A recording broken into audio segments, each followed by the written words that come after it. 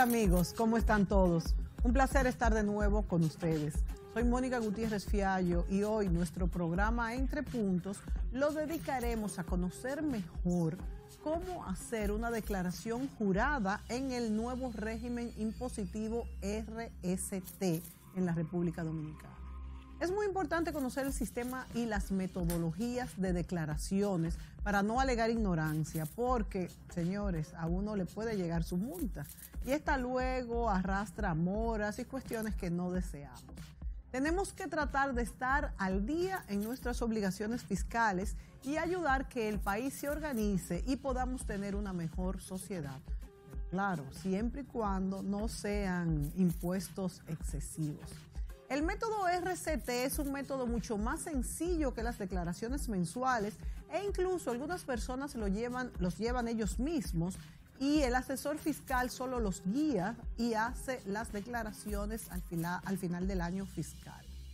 A muchos les preocupa el costo que se tiene que calcular para el pago de los impuestos en cualquier negocio, pequeño, grande, y también el pago que se le tiene que hacer al profesional que, se utiliza como asesor fiscal.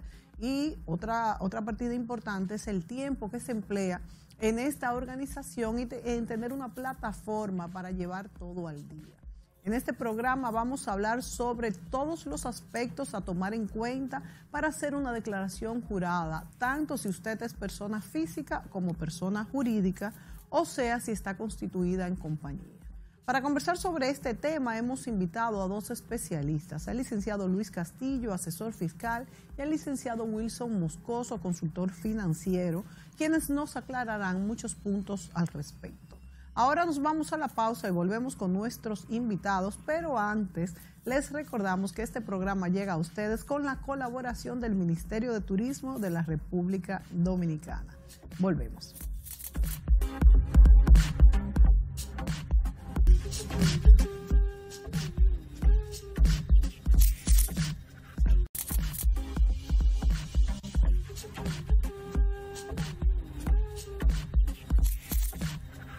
Amigos, ya estamos aquí con nuestros invitados de hoy, el licenciado Luis Castillo y el licenciado Wilson Moscoso.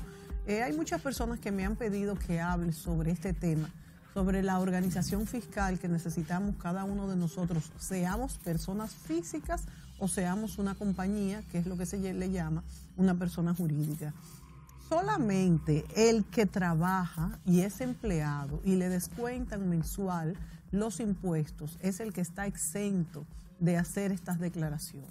Pero todo el que tiene un pequeño negocio, por pequeño que sea, debe, aunque no pague. Hay una parte, si está en el antes PCT, ahora RCT, que es asumido como gastos, un 40%, de manera que usted no va a pagar, no le va a dar a pagar si el negocio es muy pequeño, pero debe estar, vamos a decir, formalizado, porque esto es lo que el país está tratando de organizarse para hay muchísimas cosas que el país, estadísticas que se pueden hacer a través de la formalización, además de la recolección, por supuesto. Luis Castillo, Wilson Moscoso, bienvenido a este programa. Queremos saber muchas cosas. A mí me gustaría, bueno, pongo el ejemplo mío, de hecho, para hacerlo más entendible, más, más ligero el programa. Yo, te, yo facturo a nivel personal, o sea que yo pertenecía al PST. Entonces ahora yo estoy en el RST, pero ¿cómo yo llegué ahí? Porque yo en lo que me inscribí fue en el PCT. Entonces, ¿cuál es la modalidad y qué cambia con esto? Luis, ¿puedes explicarme? Sí, hola, Mónica. Primeramente, gracias por invitarme a tu Bienvenido. Mira, eh, al, entrar luego en este nuevo formato de, declaraciones o, o régimen, vamos a decir, las personas que estaban en el PCT automáticamente pasan al RST siempre y cuando apliquen. Eh, en muchos casos, varios contribuyentes estaban en el, PCT, pero al hacer una revisión... Ah, no calificaron. No calificaron y fueron excluidos. Y, por ejemplo, ¿quién no califica? Los que sobrepasen eh, los ingresos, por ejemplo, de 8 millones 700, por ejemplo. Al año. Al año. Porque se suma todo. Entonces, si esa parte eh, es superior, entonces ya automáticamente es excluido de ese régimen. Entonces, en el caso tuyo, por ejemplo, eh, como estás personalmente dentro, de ese rango, pues entonces automáticamente quedó ahí. Queda, eh, también se debe, estar al día. Ah, claro. Si, tiene deuda, no pasa. ¿Y entonces qué pasa si tiene deuda? Bueno, simplemente eh, corregir su estado fiscal, su deuda, o su situación, si ha declarado o no, y entonces luego, pues, solicitarla a la DGI y pagar su deuda. Ahora hay una un perdón para las personas que tienen deudas atrasadas, creo, y pueden con un 2% ponerse al día. Eso es otro tema. Eso es otro tema. O sea, eso es otra ahora eso tiene que ver con la regularización patrimonial. Sí, exacto. Eh, entonces, pero sí tiene tendrá muchas ventajas. Yo te diría que habríamos que hacer un Otro día vamos a hacer un programa solamente sobre eso. Bueno, entonces tenemos ahí en pantalla algunas diapositivas que Luis Castillo nos ha preparado y eh, podemos ver esto de las declaraciones anuales y todo lo que es eh, las diferencias, los que son asalariados, los que son... Cuéntame, Luis, ¿cómo Mira, principalmente de todas las empresas o personas deben tener pendiente que estamos ya en épocas de declaraciones anuales. Se dio un, un, extra ahora, que tenemos el tiempo, incluido yo, ¿verdad? Y vamos a poderlo hacer hasta el 20 de marzo, ¿verdad? De marzo, correcto. Entonces ahora lo que se, debe tener pendiente es eh, las declaraciones del IR13. Por ejemplo, las empresas, eh, aunque no tienen ninguna penalidad en sí, eh, lo correcto es que debe hacer su declaración de IR13, que es, no, es tan simple eh, como eh, la sumatoria de todas las nóminas mensuales. O sea, el IR13 son la sumatoria de las nóminas mensuales. Correcto. Para el que está acogido al RST. No, ah, esas son las empresas. Estas son las empresas, pero las, hay empresas que también se pueden acoger al sí, Sí, sí, sí, independientemente. O sea, el, IR13. Ah, entonces el IR13 hay que hacerlo sea en cualquiera de los en cualquier régimen, o sea, siempre y cuando se tenga eh, empleados que estén todos eh, registrados en la TCS. Ok.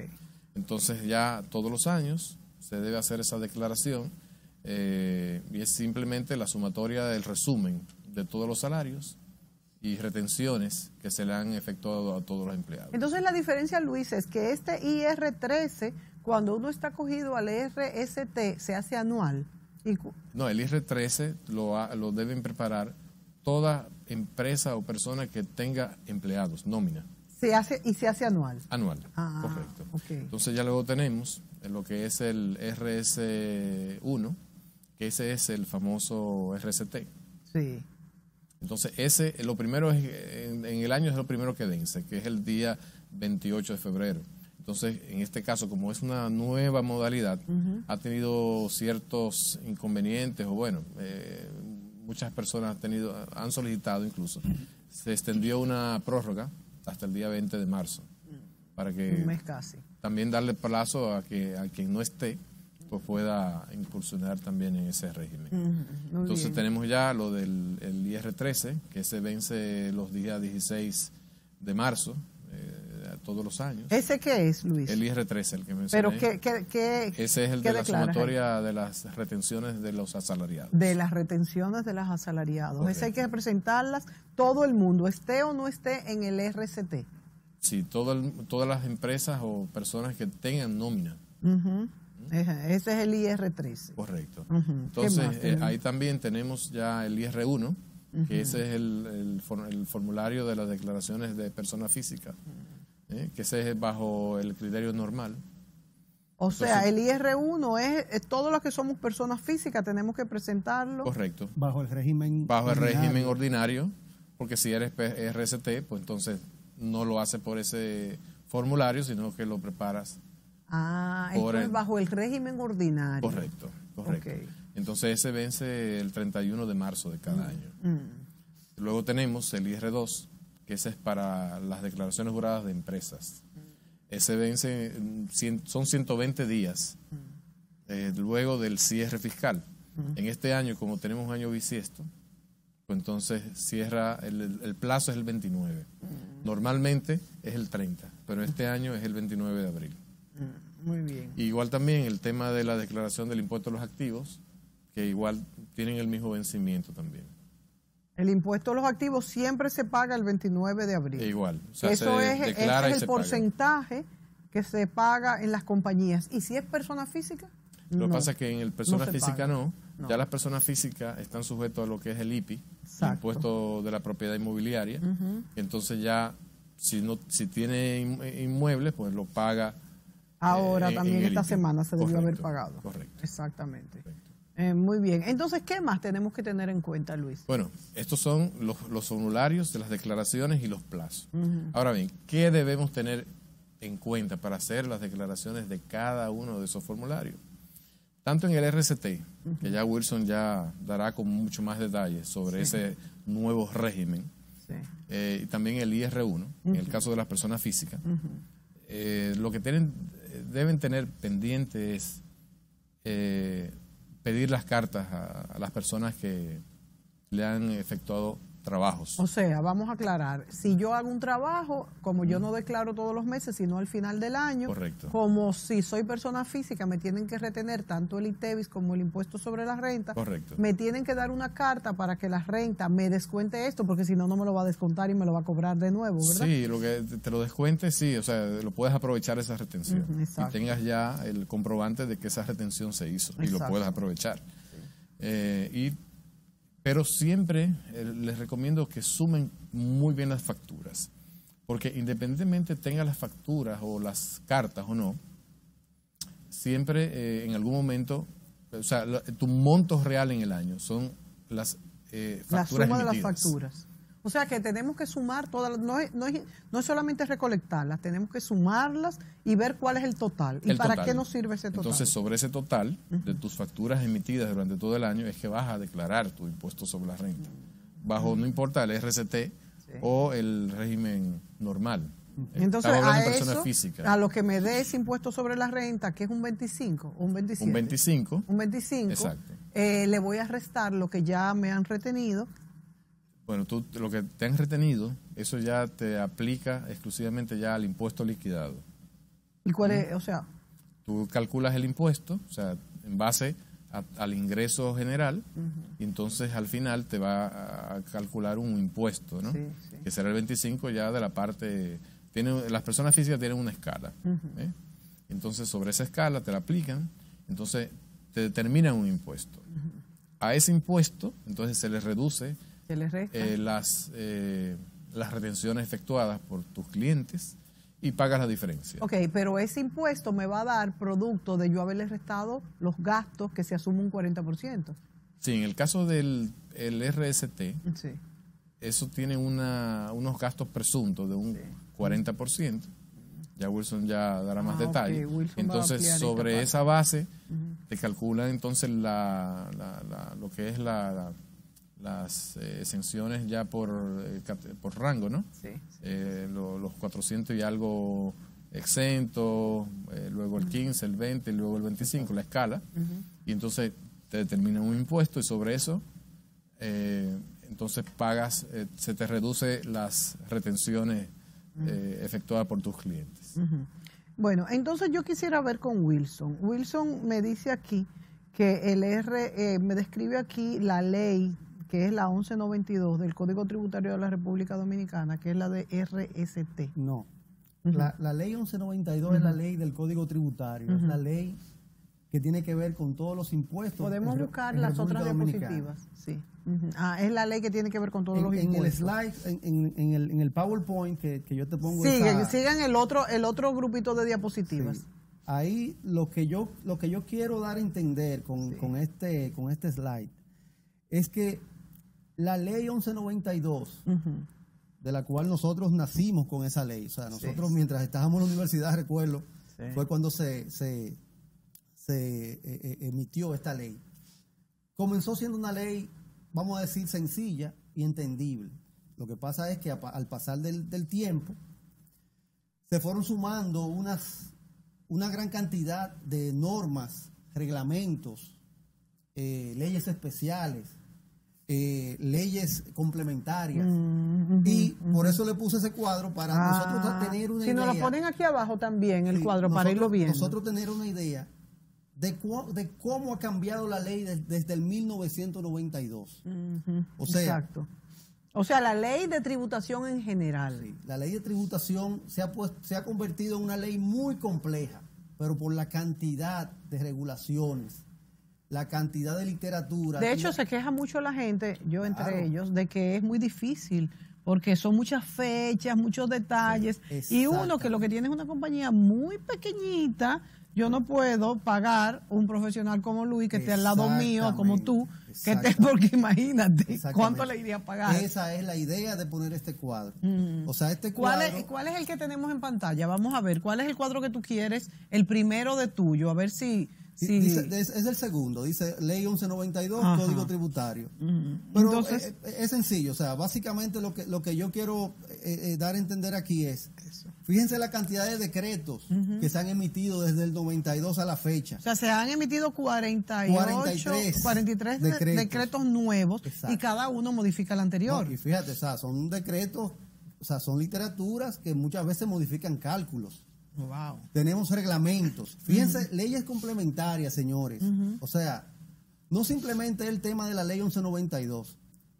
Es que tenemos leyes que están relacionadas a cálculos de impuestos.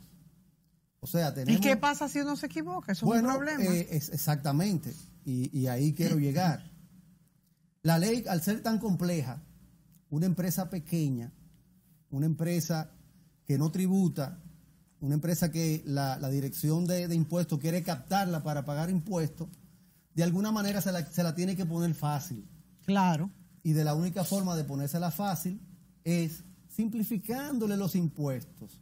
O sea, poner una especie como de impuestos planos. Y eso, por ejemplo, PST era simple eh, eh, Era procedimiento, procedimiento simple, de tributación. ¿Y ahora RCT cuáles son? Ahora es eh, régimen simplificado. Entonces, debería, ¿es simple o no es simple? Es bastante simple. no, no, no, es bastante simple. Y de verdad que es lo recomendable. O sea, para una empresa pequeña, para una empresa que no sobrepase los límites que dice la ley, es lo recomendable. O sea, no hay forma de que, de que un profesional me diga a mí o una empresa, un empresario, que el régimen ordinario es, se, puede, se, le puede sacar más ventaja que, el, régimen simplificado. no hay forma. Tanto por lo económico y tanto por el tiempo y los detalles que hay que dedicarle al régimen ordinario. Muy complicado. Entonces, eh, yo hice, la ley tiene su, definición, pero yo definí aquí lo que es el, régimen, eh, es, eh, el régimen eh, simple de tributación. Y yo puse que es un método abreviado de tributación para facilitar las declaraciones de impuestos de los pequeños y medianos contribuyentes. Es una manera de formalizar parte de la gran cantidad de negocios. Que no tributan. Mucha evasión. Mucha evasión. y personas que no tributan en República Dominicana. ¿Eh? Entonces, eh, ¿cómo nosotros nos manejamos con este, con esto, con este, con este régimen? Bueno, tenemos dos métodos. Uno que es el régimen, eh, el método de, de, lo que tiene que ver los ingresos, que la ley nos da nos da hasta 8.7 millones de pesos en ingresos para nosotros acogernos. Y existe otra metodología, que es la metodología de, las compras, que la ley este, eh, eh, indica que, son, que es hasta 40, millones de pesos. O sea, para que quede claro, los que se pueden acoger a este régimen simplificado son los que no reciben más de 8.5 millones, millones al año o, y los que, o los que compran menos de Claro. ¿De cuánto? Menos de 40 millones de 40 millones de pesos. Esto es así porque está limitado para saber si usted califica, porque es un pequeño, vamos a decir, empresario. Ahora bien, eh, ¿cuánto? Hay mucha informalidad, como tú has dicho, Wilson, y el gobierno está haciendo grandes esfuerzos por la formalización, no solamente para pagar impuestos, que por supuesto es lo más importante para el gobierno, pero también para tener para conocer mejor de qué, de qué negocios vive nuestro país. Entonces, Una pregunta que quizás no sé si tú me la puedes responder, pero yo te pregunto, esas personas que son informales, que quizás tienen al año una, una ganancia que no supera, eh, que exclusivamente vamos a decir que les da para mantener su familia medianamente, vamos a decir que les dé, vamos a poner un número, que les dé 40 mil pesos mensuales, vamos a decir, menos de 100 mil pesos mensuales. Si esa persona se formaliza, ¿cuánto tendría que pagar? Entonces tendría que pagar el 25% de esa, de esa, de esa, de eso. Sí, no, déjame responderte eso, eh, eh, esa, te voy a responder ahora esa, esa pregunta. Fíjate que yo te hablé de 8.7 millones y 40 millones en compras. Ahora, tiene que ver con qué tipo de empresas. Los 8 7 millones no, no aplica para, toda, para todo tipo de empresas, ni los 40 ah. millones tampoco. O sea, los 8.7 millones son, o sea, aplica para empresas que son de servicios, perdón, eh, bueno, empresas que son de servicios y personas físicas que son de servicios, mm. eh, pero también de producción, producción, no comercial. Mm. ¿Ok? Entonces. O sea que si yo soy un comercio, que lo que hago es que tengo una tienda y vendo. El ingreso no aplica. No aplica. No, aplica para compras. Ah, para el método de compra. Compras. Para el comercio sí. También aplica eh, para personas físicas, o sea, también que, que, produzca bienes y servicios, que produzca eh, industrial, y las agropecuarias. Esos son, esos son los tres tipos de empresas que aplican eh, para la, el régimen de, de, de, los ingresos, de la metodología de ingresos. Okay, okay. En el caso de, las compras, el RCT basado en, en, compras. Comercio. no, están personas físicas y las empresas pero que intercambien eh, eh, bienes, o sea, que sea comercial. entonces esa, esa, esa es. Entonces, en relación a tu, a tu pregunta, eh, todo el mundo tiene que pagar impuestos, todo el mundo debería pagar impuestos en el país. O sea, no, no, con esta, bueno, y mucho más con esta ley. Esta ley yo creo que, nos puede ampliar el abanico de, de todas las empresas y de todas las personas que de alguna manera eh, le huían al, al, al, pago. al, sistema tributario. Como Luis te acaba de, decir hace un momentito, eh, la parte de, para personas físicas, el cálculo de, los, de los impuestos tiene que ver con, con unas tasas progresivas, dependiendo los niveles de ingreso que tenga la persona. Entonces, hasta 416 mil pesos 416.220 pesos, que por cierto, eh, eh, la parte de la indexación hace como cinco años que, el gobierno no lo cambia. Entonces habla, se habla mucho de, indexación, del 8.7, de los 40 millones. Pero no se hace. Pero los empleados tienen cinco años que no se le cambia la indexación. Entonces, eh, hasta, hasta 416 mil pesos está, están exentos de, impuestos. En el caso de, del, de, la, persona física. Mira, yo, yo creo que nosotros tenemos que ser bien prácticos para explicar este, este método. Una persona en el régimen ordinario, y para ponerte un ejemplo, hice un cálculo antes, antes de venir aquí, que gane 2 millones de pesos al año, con el RCT va a pagar 160 mil pesos aproximadamente de impuestos. Una persona en el régimen ordinario que, vaya a pagar sus impuestos va a pagar 364 mil pesos. Ah, en, el, régimen ordinario, en el entonces va a pagar mucho paga 360, en el régimen eh, con el RCT va a pagar 160. La, ¿El doble entonces? Bueno, eh, más del doble. Wow, sí, más, del, doble. Sí. Entonces, fíjate, fíjate, ah, no, y, y, no tanto eso, o sea, lo, lo, lo bueno de este, de este sistema es la, lo fácil que es calcular los impuestos. Entonces, fíjate que, cualquiera que vaya a entrar como, como empresa, un asesor, no creo que vaya muy lejos para indicarle que lo mejor. O sea que definitivamente si es un negocio pequeño, es mejor el RCT. Vámonos a la pausa, hasta 8 millones y volvemos con este tema.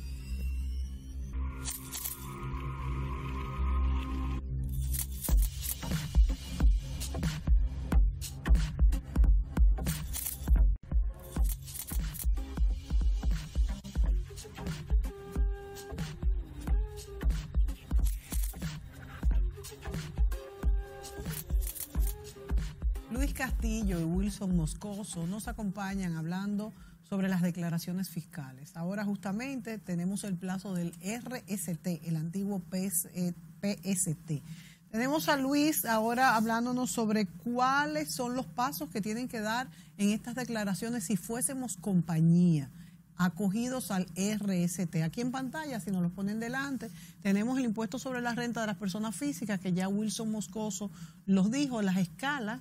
Vamos a ver, mírenla aquí.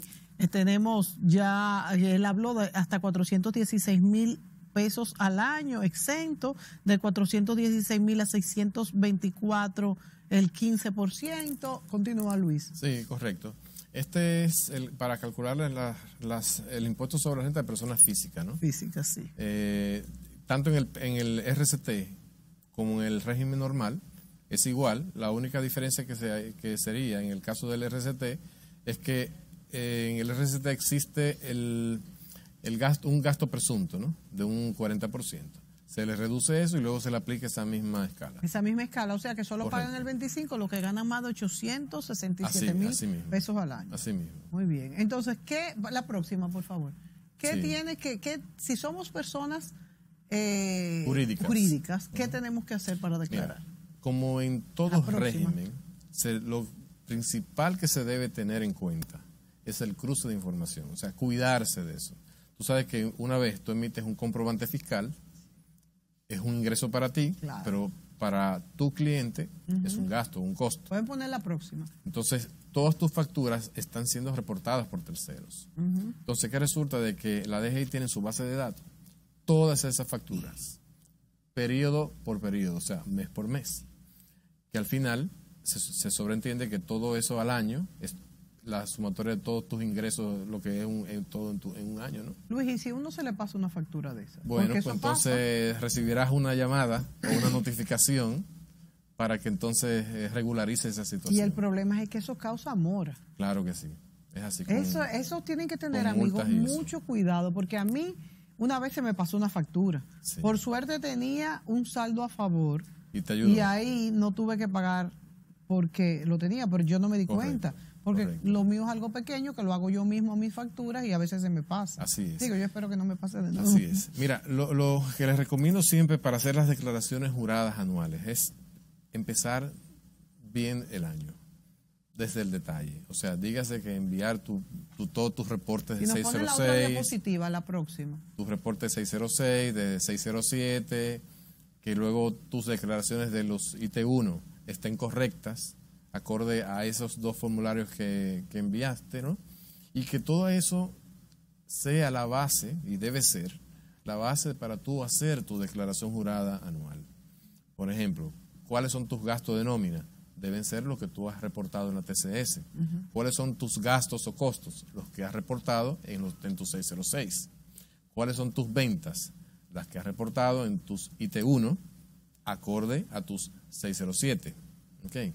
también debes considerar las compras internacionales, que eso está ya previamente reportado en aduana. Y existe mm. ya un cruce muy directo entre aduana y la DGI. No puedes colocar que has comprado más si realmente no, porque también esa información ya la DGI una pregunta, Luis. Si, si la DGI tiene esto también, vamos a decir, organizado y estructurado, al uno presentar, si a uno se le ha escapado una factura, no es el momento ahí y ya no después de uno o dos años de uno ver eso y no tener que pagar una, una multa ni una mora, porque es algo que a lo mejor no hemos tenido en cuenta. Mira, primeramente es una declaración jurada. Se sobreentiende que tú estás jurando, declarando algo, ¿no? pero en el, en el RCT, este año, ellos hicieron algo que, te, que puede ayudar. En el sentido de que cuando tú estás reportando, Eh, tu, tu, impuesto, tu declaración, eh, el sistema determina o compara el cruce de información que tienen internamente antes de versus antes de aceptarlo, versus lo que tú estás reportando. No te está diciendo cuánto existe. Si estás reportando de menos, entonces te dice, mira, los terceros han reportado más. Pero ¿y por qué no te dice cuál, cuál es la factura que te falta? Porque a lo mejor tú no te das mira, cuenta. Si esperas ya luego en mayo, ah, ya sí luego que todas las empresas han reportado, tendrás eh, los, eh, los cruces de terceros. Pero hay problemas en esperar a mayo o no? ¿O se bueno, puede si es que el tema es que si esperas, Sí. primero puedes tener, tener una multa, una multa, también eh, pagarás más, más impuestos. Estás fuera de plazo, no puedes Wow. pedir una certificación. Entonces no se puede. No se Entonces puede estamos hablando de que febrero, marzo, abril, Uf, o sea, es mucho. entonces todo depende de tu necesidad. Mm. Eh, y no es, no es lo recomendable. Lo recomendable es que tú lo hagas en base a lo que, lo que realmente tienes. No, claro que se va a si hacer así. existe Pero algo, si hay que, algo que tú no un sepas. error de digo. tercero, por ejemplo, entonces ya lo correcto es ir- dirigirse a la DGI. Ah, dirigirse a la DGI y ahí sí te ayudan y te Ahí dicen. podría entonces Ah, bueno, colaborar contigo y ver, y ver entonces dónde existe esa Muy bien. inconsistencia. Ah, Esa muy bien, inconsistencia. fantástico. Muy bien. Entonces, Wilson, continuamos entonces con la explicación de todos estos detalles. Ya dijimos hasta qué punto están exentos. Continúa con tu explicación, si nos podemos ir otra vez a las otras diapositivas. Sí. Mira, es bueno indicar también que el RST no es un- una modalidad nueva de, de- de cálculo de impuestos. O sea, desde el año 2004 eh, se comenzó con un régimen que era el, el régimen de estimación simple. Sí, RES, sí. que era muy parecido Sí. al tema, a la, a la metodología de ingreso, pero llegaba hasta dos, mi- hasta dos millones nada más.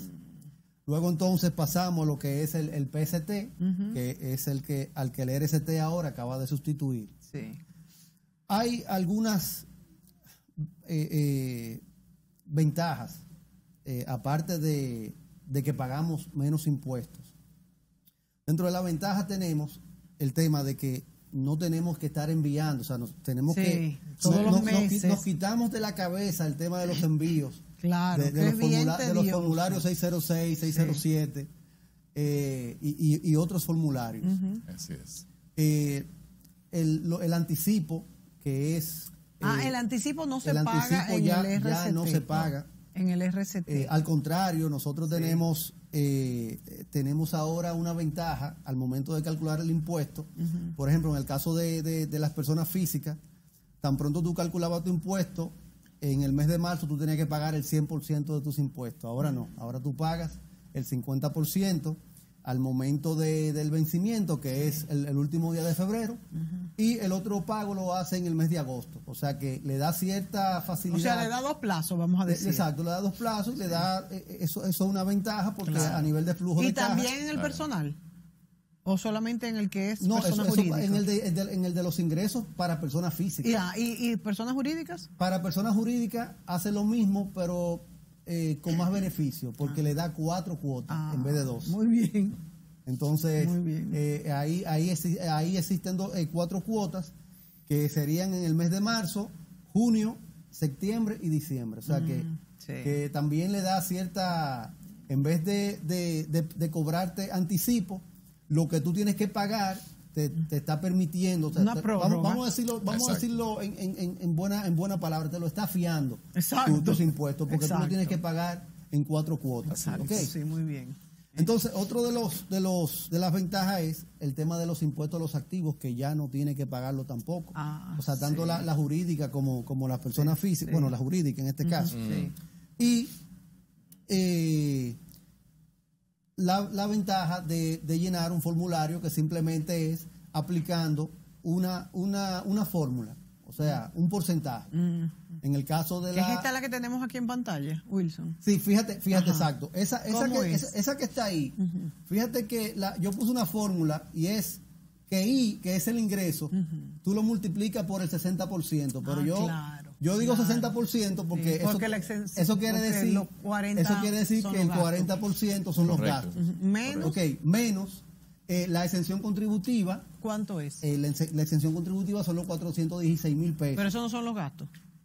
Eh, no, eso, Ah. eso, eso, para, eso, para, eso, eso es Esa, es la escala. Para que, para que, exacto, esa es la escala, para que tú entiendas. En, la, en las personas jurídicas Ajá. aplican un 27%, Sí.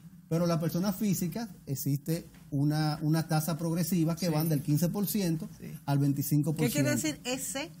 Ese es exención, contributiva. contributiva. Exacto. Ajá. Entonces, el monto que tú tienes de los ingresos menos el 40%, menos la exención contributiva, eso tú lo multiplicas. Pero la exención contributiva depende de cuántos sean tus ingresos. Oh, claro, exacto, exactamente. Tú lo multiplicas. Eso tú lo multiplicas por la escala de retención. En, el- en el- en este caso, la escala de retención es el 15, 20 o 25. Si tú te pasas, por ejemplo, de 816 mil pesos, que es la, la- la última, vamos a decir, la- el último rango, Sí. eh, simplemente ya tú sabes que hay unos los porcentajes que están hacia abajo ya tienen unos montos fijos. Sí. Tú tienes 79 mil pesos de 816 y de ahí en adelante todo es un 25%. Exactamente. Exactamente. sí. Entonces, ya, fíjate qué sencillo es calcular. Sí. Eh, no hay que inventar el agua tibia ni nada de eso. Sí. Es simplemente eso. Sí, muy bien. Si nos vamos a la otra eh, diapositiva, eh, fíjate que eso es el ingreso para personas jurídicas. Sí. La ley la, la pone mucho más fácil para la persona jurídica porque te dice, oye, tus ingresos simplemente multiplícamelo por, por el 7% y, y eso es lo que tú me vas a pagar de impuestos. Ajá, pero ¿por qué? Listo. Ajá. Por 7%. Por 7%. Eh, Eso calcula una tasa una tasa efectiva. Es una tasa efectiva de tributación, exacto. Entonces, eh, lo que yo te pre- lo que yo les preguntaba ahorita quiere decir que si yo soy una compañía pequeña y estoy en el RCT es un 7% lo que voy a pagar aproximadamente. Como persona jurídica, sí. Como persona jurídica. 7%. Sí, lo que pasa es que ellos consideran que tú tienes gastos. Claro. Entonces, claro, por eso lo hacen, no lo hacen un 27, Claro. sino que lo calculan un 7 y dicen, bueno, mira, de tu resultado ya, eh, sobre tu ingreso, calculamos una tasa efectiva O sea que si yo me gano 7. 100 mil pesos, eh, yo lo que voy a pagar es eh, 70 mil pesos. Que no es, una cosa es que te ganes, una cosa es que factures. No, que ganes no, eh, estamos hablando de ingresos. Ah, de ingresos, Exacto. Eso quiere decir que si tú, te- si tú tienes de ingreso Ajá. eh, un millón de pesos, eh, tú vas a pagar 70 mil pesos. Exacto. Si tienes Eso- dos eso- millones, vas a pagar 140 mil pesos de impuestos. Ujú, Sí. Ok, entiendo. Entonces, fíjate, fíjate qué sencillo, tan sencillo que la gente se asombra y dice, no, pero no puede ser Claro. que, que sea tan sencillo. Pues mire, sí, es, es tan sencillo como eso. Se aplica esa tasa eh, eh, de, de tributación, o sea, la tasa efectiva y listo. La tercera, la tercera, eh, el tercer tipo de, de sector es el, el sector agropecuario Sí. y también ese aplica eh, aplica un, un porcentaje o una tasa efectiva de tributación. ¿Y cuánto es esa tasa efectiva? de Esa, tributación? hay una escala eh, que la DGI tiene, tiene incluso eh, ya distribuido por sectores agrícolas y, y bueno, son, son, son, son bien bajitas. O sea que en, en este caso no ni siquiera llega a un 1% muchas veces en, en- en el sector agrícola. Sí, porque es un sector de, de volumen. Es un sector Entonces de- también de se hace volumen, respecto a los ingresos o a lo que o a la, o a la facturación. Se ¿Perdón? hace, se hace eh, en los ingresos. O sea, por lo que tú Sí, sí, recibes, no, todo, por la todo es por los ingresos. O sea, esas tres que mencionamos, personas físicas, eh, personas jurídicas y y agropecuarias, agropecuaria. y personas físicas y jurídicas que sean eh, de servicio y, y, de, de- y- y de producción. Ok, entonces aquí se va a pagar mucho menos de un 7. Tú me estás hablando de que son tasas. No, agrícola no llega ni a un Agrícola 1%. ni a un o sea, 1%. son 0.60, por- 0.60, 0.7. Sí. El impuesto que se paga es bien bajito. Ujú, ok, O sea, por el, por el tipo de sector. sí. Eh, en, en el caso ya de, de- de la parte de compras, eh, ya el, el- el cálculo es, es, es diferente, puesto que, que aquí sí tenemos que, que calcular eh, lo que es la renta neta imponible. Eh, es, es muy parecido, o sea, es muy parecido. Lo que pasa es que en el caso de, de las compras tenemos que, eh, tenemos que tomar en cuenta que también tenemos que calcular el ITEVIS. O sea, fíjate que en el caso de los, de los, de los, de los servicios y de los ingresos, Porque te los retienen. Te los retienen Claro. exactamente el 100%. En este caso, en este caso, como es un tema comercial, no te los retienen y tú tienes que hacer un cálculo de, de, de esos ITEVIS Al año. Al año. Wow. O sea, no tienes que hacerlo.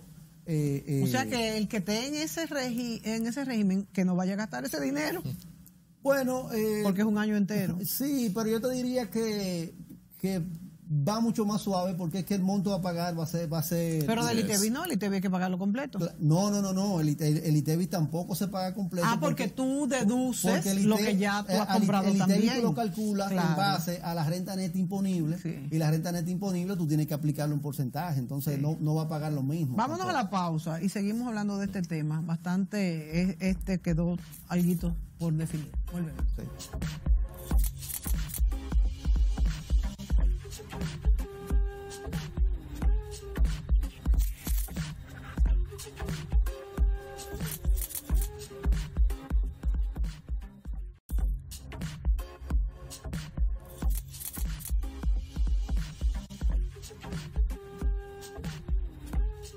Wilson Moscoso y Luis Castillo nos acompañan en esta entrega. Ellos son asesores fiscales y financieros. Nos explicaba Wilson Moscoso cómo se hace esta declaración cuando son personas jurídicas y quedamos en, con el método de compra. Con el método de compras, que es mucho más, mucho más complicado, porque el que compra recibe, el que compra y vende, o sea, el que comercia recibe ITEVIS. Entonces, ¿cómo es que se calcula este ITEVIS en base a la, a, a la renta imponible. Renta neta imponible, exacto. ¿Cómo se calcula la renta neta imponible? Mira, tú sabes que tenemos 40 millones de pesos eh, como tope máximo para, para, el, para, el, régimen. Eh, la ley te indica que simplemente a, ese, a esa renta neta imponible se le aplica lo que se llama el margen bruto de comercialización. El margen bruto de comercialización eh, está dado también por la DGI, en donde indica, eh, donde se indica eh, cuánto eh, puede ganar X, X empresa. En este caso, por ejemplo, es como que tú le apliques a los 40 millones, imagínate que no sean 40 millones, que sean 31. 31 millones de pesos.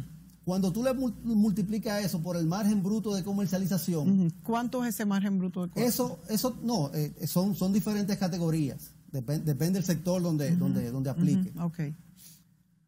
Pero si te da, por ejemplo, ese cálculo te da 2 millones de pesos, la renta, o sea, la, la, la, DGI está asumiendo de que tu ganancia son 3 millones de pesos. O sea, a la compra que tú le estás aplicando ese margen, eh, incluso el, nombre te lo indica, es un margen, margen bruto de comercialización. Sí, sí, sí, sí. Y, la definición que ellos dan es que ese margen bruto de comercialización... Te da para tú ganarte. Sí, no, ellos, ellos tienen una definición que es la diferencia entre el precio del, del productor y el precio del consumidor final. O sea, es simplemente un tema de, del margen de beneficio. Sí, Entonces ellos dicen, ese margen que está ahí, o sea, tú tienes la compra por el margen eh, bruto de comercialización, eso te da un monto. Ese monto se supone que es el beneficio de esa empresa. Entonces, a ese, a ese, eh, a ese resultado tú le aplicas sencillamente el 27%. O sea, el 27% como si fuera un régimen normal. ¿Ok? ¿Qué pasa? En el caso de los ITEVIS, como ya tú tienes el, la renta neta imponible, eh, eh, creo que también tiene que ver con, con algunos sectores pero, por ejemplo, en el, en el caso de una de un colmado, un colmadón, un supermercadito que, venda, que compra hasta 40 millones, esa renta neta imponible se multiplica por, por 0.60, o sea, por 60%. Entonces, ese resultado ya se multiplica por, el, 18%. y ese es el ITEVIS a pagar de ese año. O sea, eso es como asumir que lo otro tú lo has pagado en los ITEVIS que tú compras, más o menos. Eh, eso, eso, es, eso es simplemente como asumir que de tu, de tu renta neta imponible, eh, el, el 60% son es un monto grabado de ITEVIS. Exactamente. Y entonces, exactamente. Entonces ya ahí tú aplicas tu, tu 18% Perfecto. Y, y, listo. O sea, no, es un, no es un cálculo complicado. ¿eh? Eso, todos los cálculos son cálculos bastante simples y, y, no es el tema de los simples, sino el tema de que, de que realmente existe un, ahorro que, se pueda aprovechar. Tú sabes que el gobierno, en este caso la DGI, como socio de cada uno de nosotros, debería a las compañías que le va mal y tienen pérdidas constantes, darle su cursito para que les vaya mejor, ¿verdad? De cómo ellos manejan muchas empresas y saben las que le va bien, las que le va mal y así ellos ganan más también, ¿verdad? Sí, sí yo, yo creo que, que en el caso de, como tú dijiste al inicio, eh, el país tiene que volcarse a, a, a la transparencia. A tratar de... Porque así como le exigimos a los políticos que sean transparentes, nosotros también debemos Exacto. Nosotros tenemos que exigir, pero nosotros tenemos que cumplir con, con la parte impositiva. O sea, yo, creo yo creo que en algún momento nosotros vamos a hacer una fila o vamos a entrar a, a un computador riéndonos a pagar nuestros impuestos.